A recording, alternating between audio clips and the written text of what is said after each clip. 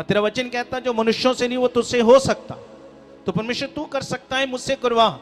मेरे रास्तों को खोल मेरे परमेश्वर। तूने तो अपने लोगों के लिए लाल समुद्र दो भाग कर दिया। तो मेरे लिए भी क्या कर दी?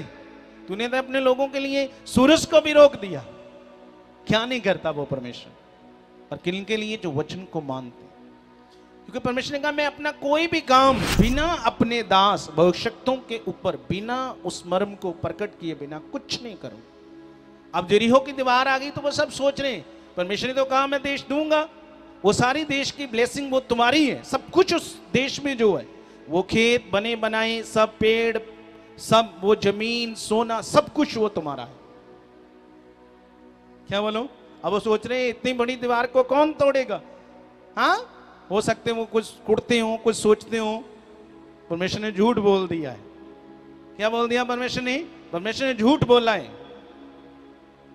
अगर उसने देना होता तो फिर ये समस्या को भी क्या करता? दूर करता ना? आप सोच रहे हैं, वो लगता परमेश्वर झूठा है। झूठा है कि सच्चा है? जो कहता वो वचन पूरा करता है कि नहीं करता? लिखा, वो इंसानों के जैसा नहीं है।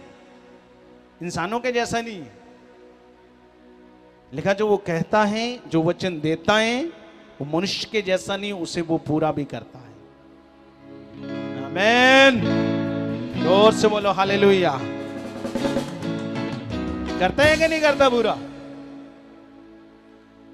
जब वो बैठे, सोच रहे तो परमेश्वर ने उस समय भी अपने दास को, यहोशु को ये वचन दिया।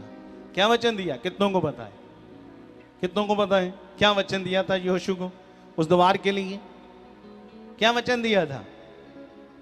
नहीं बता हाँ अब हाथ खड़े कर रहे हैं। धीरे धीरे डरते डरते कहीं गलत ना हो जाए। विश्वास से करो। खुदा तुम्हारे साथ है, डरते क्यों? तो क्या वचन दिया था कि छह दिन तक तुम क्या करना? रो तड़के उठकर इस दीवार का क्या करना? रोज चक्कर लगाना पूरी दीवार का। और सातवें दिन क्या करना? सात बार लगाना। तो वो भोर को बहुत तड़के अर्ली मॉर्निंग रोज चक्कर लगाना। बड़ी लंबी दीवार वहाँ से लेकर यहाँ तक। तो रोज चक्कर लगाना है। छह दिन तक लगाना, पर सातवें दिन इनको बोल सात बार चक्कर लगाएँ। अब वो वचन किसने दिया? किसने वचन दिया था अपने दास यहोशु को? मैं आपसे पूछ रहा हूँ, किसने दिया था? कहाँ से दिया था?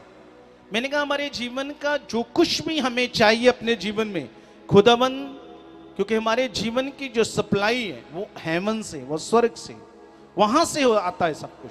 और परमेश्वर अपने सारे कामों को अपने वचन के द्वारा करता है और लिखा अपने दास भविष्यताओं के ऊपर प्रकट करके करता है।